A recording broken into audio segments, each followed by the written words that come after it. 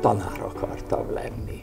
Mert rájöttem, hogy a tanár az bohóc is, színész is, meg szerzetes is voltak éppen.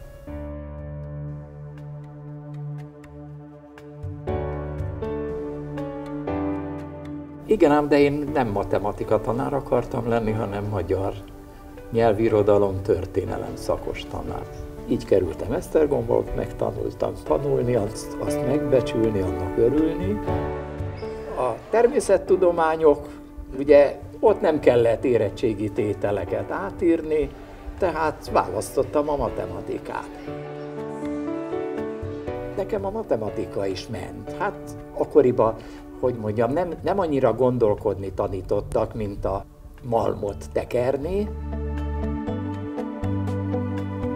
József Attilának a születésnapomra vers az igencsak megfogott, hogy én egész népemet fogom nem középiskolás fokon tanítani. Hát ha egy ilyen költő ezt tűzi ki célnak, akkor az nekem is nagyon jó lesz.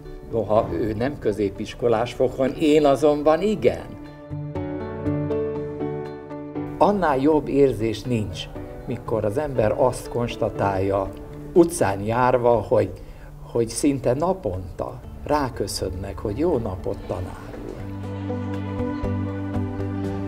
Szóval nélkülük nem tudtam volna ez lenni. Tőlük, kollégáimtól, mondanom se kell, családomtól is rengeteget kaptam, de szakmailag elsősorban a tanítványaimtól tanulhattam rengeteget. Na hát én a magvető vagyok. Ugye, aki elveti a magot, hát biztos, hogy jó néhány a szélire megy, ahol nem fog megfoganni, de én úgy veszem észre, hogy, hogy a nagyja az, az előbb vagy utóbb szárba szökkent.